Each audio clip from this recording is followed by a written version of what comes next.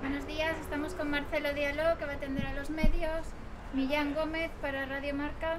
¿Qué modificaciones tácticas te está pidiendo Juanfran en tu caso en particular? En mi caso en particular pienso que básicamente seguir eh, la línea en que venimos e intentar eh, mantener portería cero. Particularmente creo que no hay nada que expresar, es, es básicamente colectivamente lo, lo, que nos pide. Así que, sí, como te he dicho, particularmente creo que queda absolutamente nada en especial y más que nada mirando en el grupo. Emilio González para Radio Galega. Eh, ¿Nos puedes hacer una referencia del Girona y las claves del partido este domingo? Bueno, yo pienso que las claves del partido, como, como ya estamos viendo también en los otros partidos, es eh, mantener o intentar mantener la portería cero, sobre todo contra, contra este tipo de, de equipos que, que, están cargados de talento y, y, con esa dinámica que tienen arriba es súper importante. El míster del Girona, Francisco, conoce bien. ¿Crees que eso les da alguna ventaja?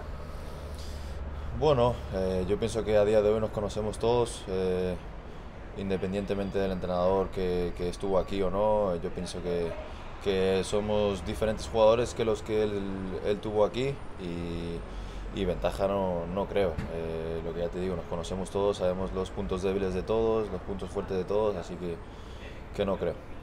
Pepe García para Radio Nacional. Después de varios partidos, ¿se os sigue haciendo raro jugar sin público? Sí, claro.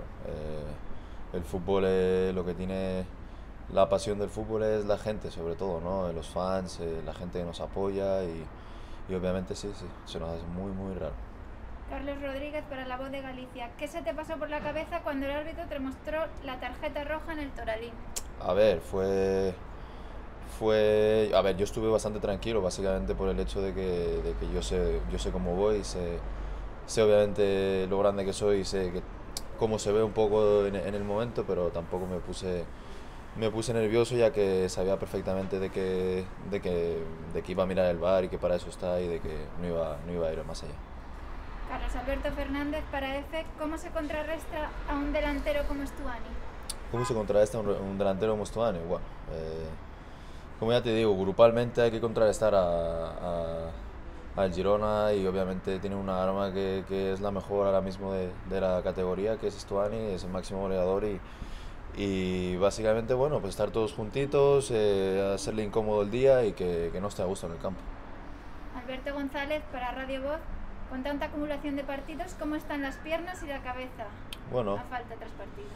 La verdad que está siendo, eh, se está haciendo bastante pesado, como ya, como ya sabes, un partido cada tres días, no es fácil, pero pienso que, que, el equipo está más o menos respondiendo bien. Nosotros, quiero decir, de piernas, y como todos, estamos eh, bastante cansados, pero, pero es lo que hay, hay que seguir. Muchas veces se juega más con la cabeza y el corazón que con, que con las piernas. ¿Realmente da tiempo a recuperarse entre partido y partido?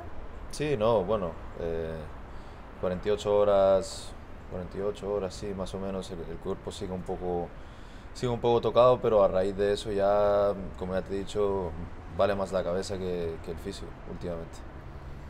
Rubén, para el progreso, ¿Juan Fran es igual de tranquilo en el vestuario que lo que refleja en los partidos? Sí, eso es lo que nos transmite, no, lo que nos transmite él, ¿no? nos transmite tranquilidad, nos transmite confianza. Y, sí, a ver, yo realmente cuando estoy en el partido apenas, apenas puedo, puedo darme cuenta de si es tranquilo o no, pero vaya, que con nosotros sí que lo es y eso es lo más importante. Muy bien, pues muchas gracias. Gracias.